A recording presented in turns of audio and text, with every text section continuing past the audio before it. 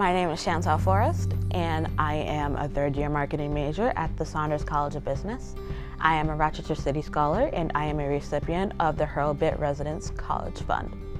Since I've been here at RIT, I've been able to experience a lot of extracurricular activities, such as the International Conversation Partners, where I've been assigned to talk to other people from different cultures, to help them get used to American culture. And I've been so blessed that they shared a piece of their culture with me, a piece of their home with me through our conversations. And as a student, I've lived in the dorms and I've also lived in Global Village.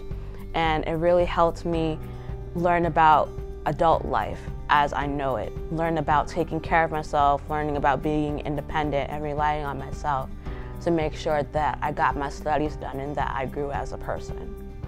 Because of my time here at RIT, I've been grateful for everything that I've received when it came to resources or meeting people here.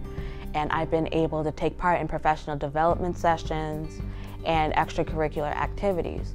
So I found myself growing more and more as a leader and pushing others to do their best so they can get that same access to the resources here at RIT. One of the biggest impressions that was left on me is through MCAS. MCAS is the Multicultural Center for Academic Success.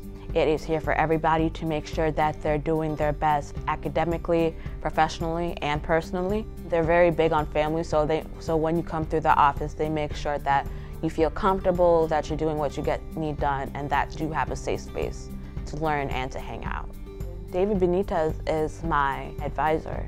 He's the person that looks out for me, who pushes me to go outside of my comfort zone.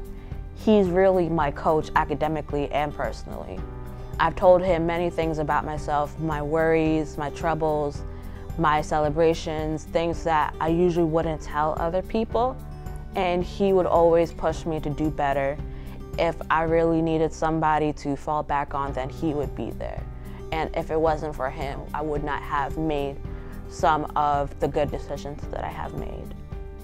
RIT is here to make sure that you have a fighting chance of succeeding after college.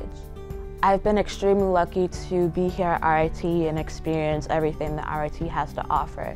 And it's because of people who donate to programs such as the Rochester City Scholars that I'm even here today.